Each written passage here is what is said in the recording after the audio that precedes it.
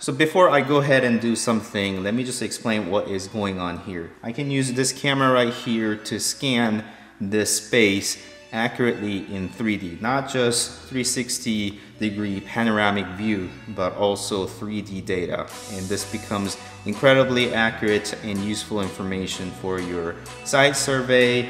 It could be residential building like this, or it could be commercial building as well. And I found it incredibly useful and accurate, and I just found myself using this all the time. So I just thought I would introduce to you.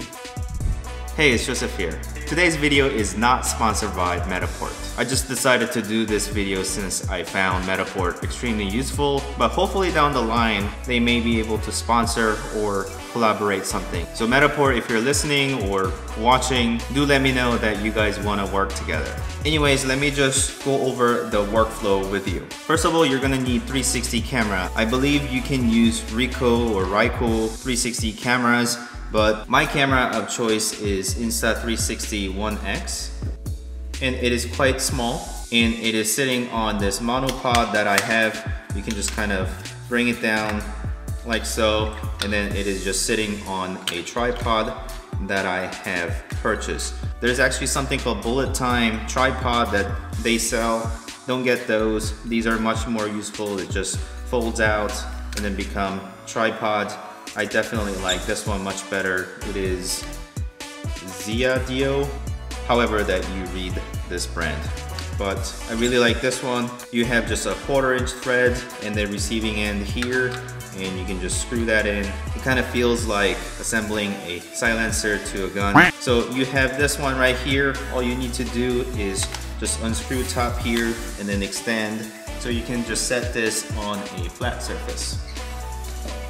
And once you have done that, you can just turn on the camera and you have to connect your smartphone or tablets that you're gonna connect to this camera here. In my case, I'm gonna use this iPad here and I already have downloaded the scan app. You can just click on that and then open up that app. I'm gonna turn on this camera here and then you're gonna have to connect your smartphone or iPad, whatever the choice of your smart device that you have in order to scan the space. And I have this icon here since I already downloaded from my app store. And then I can just click on this plus button and the new job, I'm just gonna name it as test and then click on save and that's gonna be test and then there's gonna be a 3D scanning button on the right. Anyways, I usually place the camera on a point of entry of the space but in this case I'm just gonna set it right here since I need to show you what is going on and I usually walk out of that space or at least hide behind the wall so I don't show up in the scene but in this case I'm just gonna stand here and try to not move and then I'm just gonna click on capture 3D scan and the camera is gonna make little noise.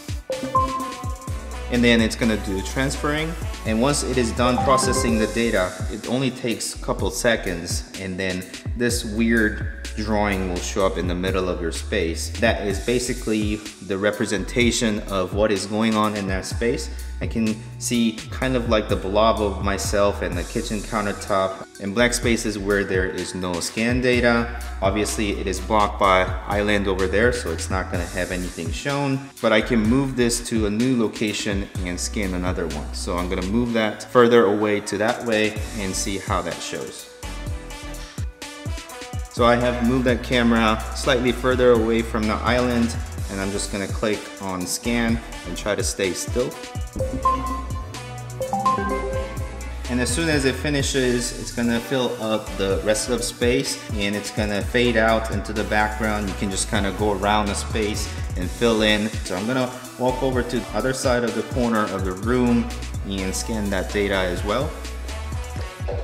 So I have placed it further away so that I have additional point of scan data. And obviously there's a lot of computer or technology wizardry that is going on here. So if for whatever reason the position that you have scanned is not showing up correctly within your space here, then you can actually click on that and then delete the scan. In my case, it's definitely showing up correctly. However, if you're dealing with a lot of white walls that doesn't have anything on them, it may or may not struggle with aligning the scan on the correct position. And I have experienced something like that when I'm going through a door. So make sure to open up doors and scan right before going into the door and then right after the door you'll scan again and if it doesn't just kind of help it out do multiple scans within same location so it is able to track what is going on. I've also had trouble on a room that is basically mirrored or identical where Matterport is not knowing which room it is in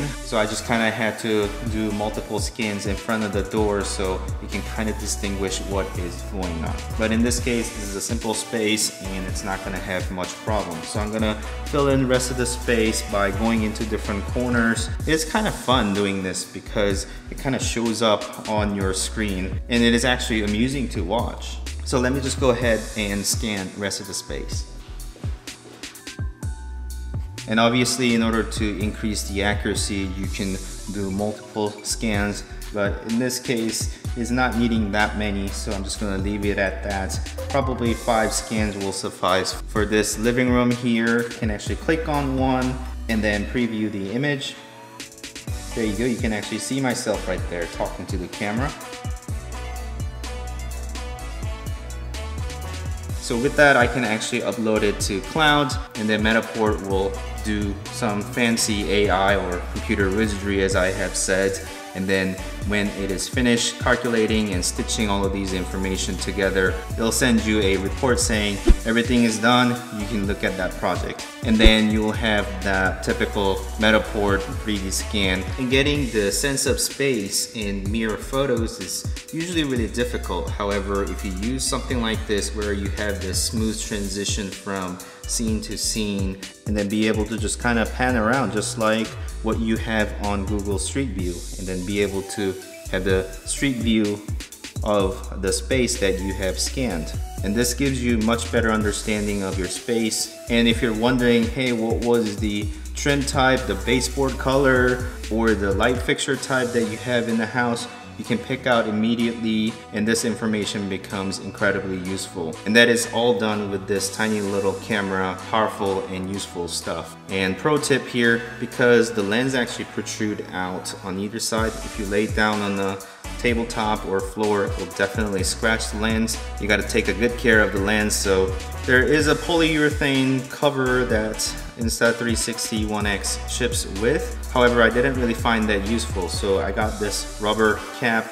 This is actually official Insta360. They also sell on Amazon. You can get it for, I think this was like $12. And then you can just kind of put this on and everything is safe. You can just kind of lay that on the floor without scratching the lens. And I carry this all the time whenever I go on site visits. I want to do a review of this device alone later, but for now just the Matterport workflow only. And Matterport themselves also produce a massive camera for them to carry to the site and actually have much more accurate information. However, because it is massive, it is always hassle to carry that to different sites and set it up and actually like turns around and scans the data so you have to like walk with it. It's a lot more cumbersome. However, this package, you just need to carry this, maybe USB cable and the tripod that is going to collapse into virtually nothing and just packs nicely inside of your backpack. So if you have found this video useful, please like